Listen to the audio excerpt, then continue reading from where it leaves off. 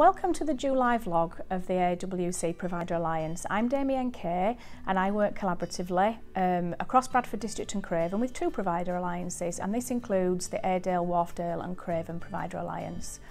For our July session, um, we decided we were going to look at the long -term, NHS long-term plan and the priorities of the three communities. And specifically, we wanted to focus on our current and future workforce and how we could improve the health and care of the local populations by working better together. We reflected on the long-term plan um, and its priorities and what it meant within the three communities and what we might want to do locally within AWC. We specifically thought about what's already going on across our system. We have some very robust programs across Bradford District and Craven that'll deliver something more within the sort of medium and long term. And we really wanted to have a go at looking about short term and some quick wins to improve our sort of current and future workforce and some of the challenges that we're facing collectively as health and care providers. We had some experts in the room from the Integrated Workforce Programme Board and the One Workforce Programme and they were able to share with us the detail of the work that they are carrying on on behalf of uh, our local place and we just tried to align that with the AWC local system and our priorities and the things that we want to do together.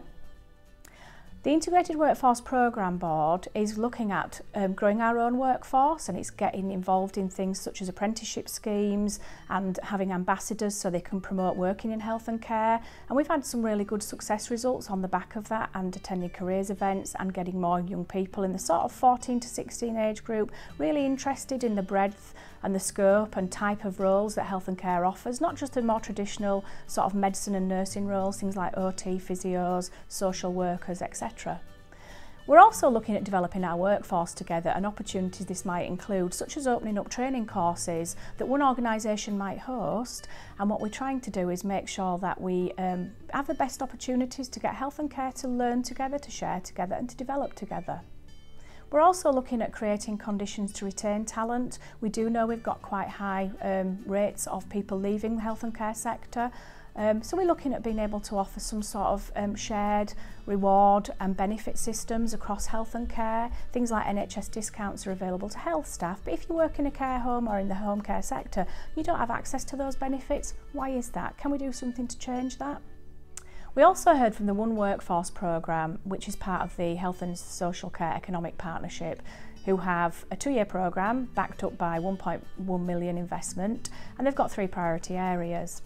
One includes inclusive health and care community um, recruitment, and we've got some early results on that but they've got a longer term target by February 2020 through about 1200 contacts to have at least a thousand people in work. Small steps, they've only been going since March but they've already made some inroads into that which is fabulous news. Additionally, they're looking to have a blueprint uh, for a One Workforce Academy across health and social care, acknowledging ambitious challenge, but they're working that through, and the blueprint should be ready um, in 2020. The final thing they're working on is to have a uh, health and care uh, connected uh, sort of recruitment platform and this uh, will have a, a web presence not really sure how detailed that will be but there is a commitment to do something on that uh, by December 2019 so watch out for that having heard some of the more medium to uh, longer term work, we spent the rest of the time actually looking at what's important within the AWC locality.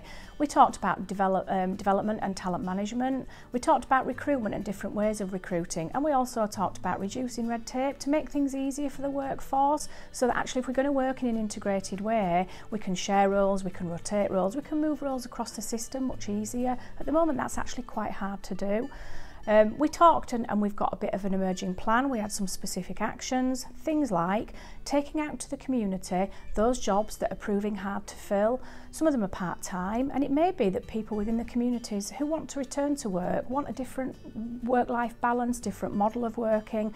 So we're going to have a try to take those things out and say, are there roles that the local community could fill um, that, that previously um, the local community wouldn't have accessed or been able to do, particularly admin and non-clinical roles, probably in the first instance. We had some sectors missing from our conversation um, yesterday and what we'd really like to do is engage with them further at our August meeting. It was predominantly health partners in the room and we'd really like to engage with um, the social care sectors and care home, home care sectors and our out of hours providers that, that also routinely join us. During September, we'll work out a plan for enacting this. We want to be able to do some short-term actions and make sure that we take this forward together. We'd also like to engage with people who are working in, in our health and care sector at the moment and our opportunities for doing that are through Twitter. You could tweet us at Alliance AWC. We look forward to hearing from you and taking forward this exciting work together.